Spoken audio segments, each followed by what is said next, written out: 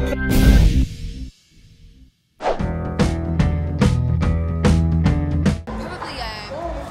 i went to see the Chili's at the Amiens a few years ago and I thought that was absolutely amazing. A massive fan of John Frusciante so it's about as close as I was going to get to seeing him perform. So um, so yeah, like, that, was amazing. I think...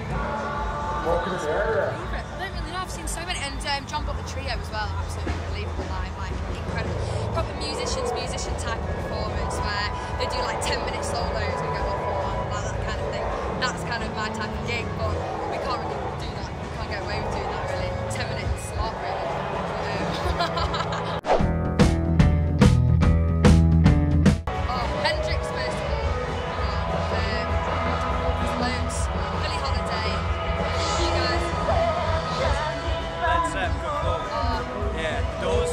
oh, the like to see the Doors play live. One more. I'd like to see, uh, can I take another? I'd like to do Justice. I know it's nothing to do with our music, but a festival, just some nice heavy uh, electro.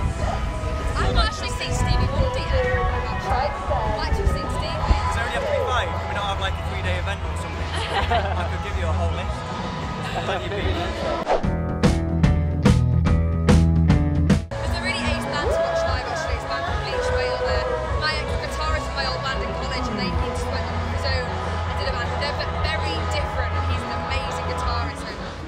No.